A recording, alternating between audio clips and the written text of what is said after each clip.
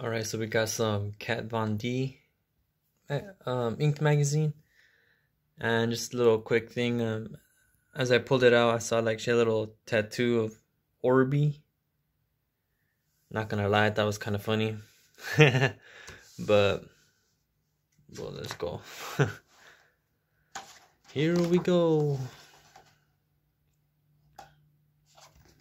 And yeah, so I saw this one and I got it just because um, I knew Kat, Kat D from the TV show she had.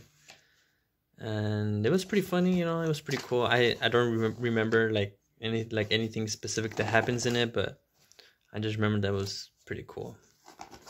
And then I got into listening to some band called Prayers. And the lead, and and I started research I started researching the lead singer from Prayers well, that's uh, Mr. Cartoon. Did some sick ass angel. But so back to the prayers. The lead singer, I started getting into him, started seeing all these interviews. That he was really cool, really like his music. And then it turns out that prayers and Kat and Kat Von D were like in the same music video, and I was like, oh, that's kind of interesting, you know.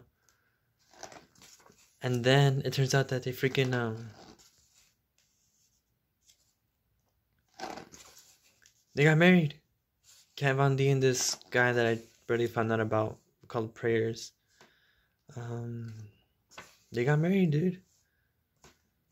And I think Kat Von D, since this magazine is older, I think now she has her whole hand, like her forearm, just blacked out, just completely blacked out. I think it's just like her like forearm right here though. I think it's like the entire arm. You see, I, I remember this guy from the TV show. I just don't remember any anything memorable from the actual show. Like I can't tell you any specific um, episode or something funny that I saw. Like I just remember the. I just remember watching it, but I don't remember anything that happens in it. Um.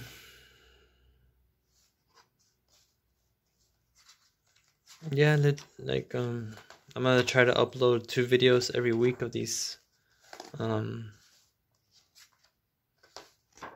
from these tattoo magazines only because you know they're not like teen angels magazines or nothing. But yeah i'm a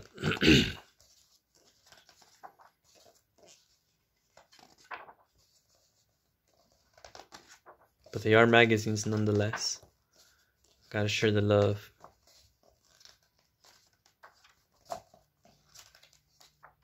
And the papers are like a little bit thicker. The front cover is definitely super thick.